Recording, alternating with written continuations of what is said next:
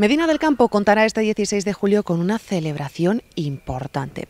Razón de más para acercarnos hasta este centro escolar, Los Frailes, popularmente conocidos por todos, donde ensaya la banda de cornetas y tambores de Nuestra Señora del Carmen, que ya se prepara para esa importante procesión del, como les decíamos, 16 de julio.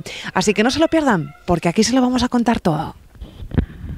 Pues con muchas ganas, mucha ilusión y sobre todo pues con energía de esos cuatro últimos años sin poder salir, tres, entre el virus y el último año que no se consiguió demasiada gente como para poder salir entre el miedo que había, pues eso nos ha hecho este año con más fuerza pues sacar las marchas y el gran concierto que hicimos el sábado pasado. ¿De cuántas personas estamos hablando? 45, 45 miembros entre trompetas, cornetas, eh, timbales o bombos y tambores. Eh, tras el año pasado, como ha hecho mi compañero Javi, que fue un poco la cosa así, pues este año la verdad es que estamos retomando y, surgiendo otra vez la banda del Carmen, que es como se merece. Es cierto que el 2022 ha sido complicado, Fernando, pero eh, aquí estamos de nuevo, eh, vuelve otra vez la actividad con ilusión. Muchísima ilusión, Paula. La verdad que ver a los chavales cómo han afrontado esta, esta última reunión que hicimos para dar el paso de para adelante la banda o para atrás y la verdad que los chicos da gusto verles. Ahora mismo componemos la banda, está eh, compuesta por todas las eh, cofradías de Medina del Campo. Y la verdad que eso es de agradecer y de, digno de, verlo. En muchas ocasiones hemos comentado, sobre todo hablando de cofradías, eh, el tema de la edad que influye en esa responsabilidad, en ese compromiso. Entiendo, Javier, que un compromiso adquirido en cuanto a la banda de cornetas y tambores de Nuestra Señora del Carmen.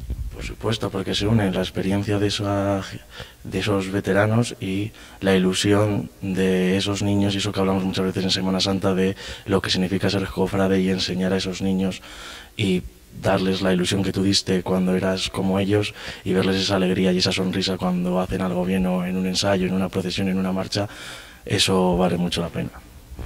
Puede ser uno de los días más importantes para la, para la banda este, este día 16 de julio. Bueno, la verdad es más importante, porque es el día de nuestra patrona, o sea que es el más importante, la verdad. Fernando. La verdad es que trabajamos para el día 16. Lo demás pueden ser procesiones que a lo mejor salen con otra cosa, que han salido conciertos o procesiones otros años atrás, pero trabajamos por y para el día 16, para salir con la Virgen del Carmen.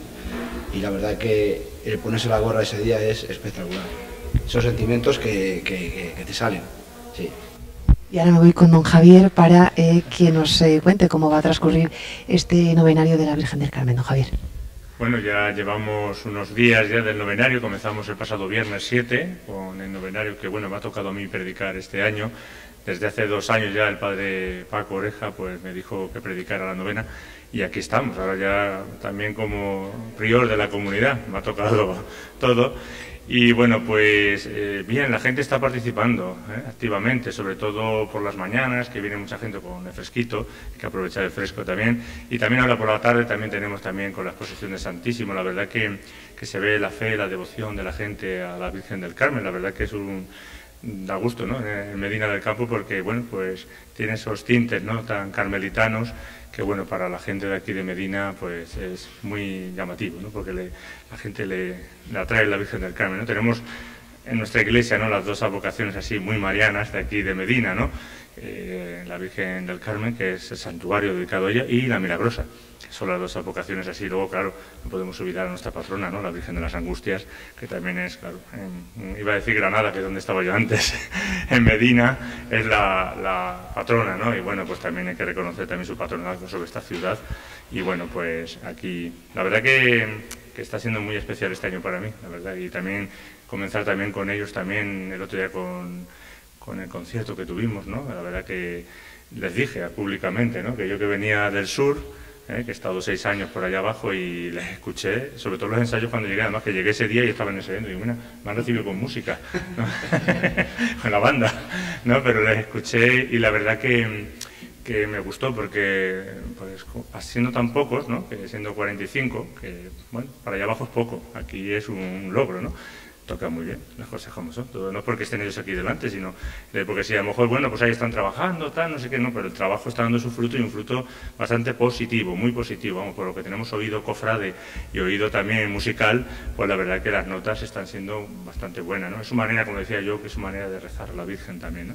Los sones, porque si no fuera por ellos también, pues bueno, la procesión con la gente, los fieles, eh, la devoción, pero también la música, pone esa parte también de fervor, de alegría, de fiesta, también para celebrar la Virgen del Carmen. Lo que nos comenta, por lo tanto, no es la primera vez en Medina del Campo. Eh, ¿Qué puede decirnos de, esta tierra? Bueno, ¿qué puedo decir? Pues aquí pasé mis siete años, siete años primero. Yo vine aquí con 20, no recuerdo si son 22 años, así 21 años llegué aquí a Medina y con 30 años pues me tuve que marchar a Toledo para estudiar la teología, para ordenarme sacerdote. Entonces, bueno, pues eh, aquí en Medina esos siete años para mí fueron muy buenos y bueno, pues ahora volvemos otra vez con el ánimo renovado, un poco más mayor también, no tan joven, porque entonces era un chavalillo, ahora ya con 40 años, 41 años, pues bueno, con ganas de trabajar y bueno, te encuentras así a gente joven que tiene también muchas ganas, mucho ánimo y la verdad que qué puedo decir de Medina, pues que lo siento como mi pueblo. Es decir, yo soy de Almodóvar del Campo, de Ciudad Real, y digo, bueno, pues cambiamos Almodóvar por Medina del Campo.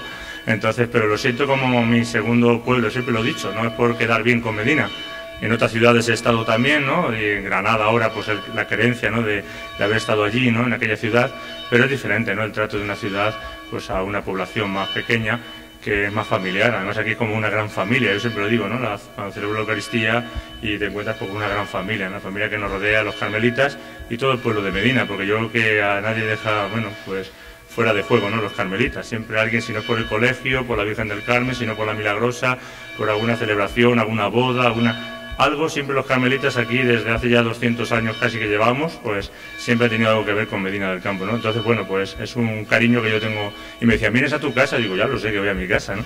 Porque la conozco de arriba abajo, ¿no? No vengo a un sitio desconocido, sino querido, más bien querido. Pues ahora sí, ya me voy con eh, los componentes de la banda de Correntas y Tambores de Nuestra Señora del Carmen para que envíen un mensaje a la ciudadanía de Medina del Campo, porque como decimos, ya estamos contando los días para celebrar, como decimos, ese día grande pues deseamos y esperamos llenar las calles de Medina y que a todos los medinenses les guste nuestra música, que para ello trabajamos, y así fomentar esa unión que hace la banda del Carmen. Como ha explicado antes mi compañero Fernando, es la unión de, es la banda unida de todas las bandas de Medina, incluso bandas de fuera, como el Amarrado de Ávila o Pureza de Valladolid, más la banda de música de Medina del Campo, la banda municipal.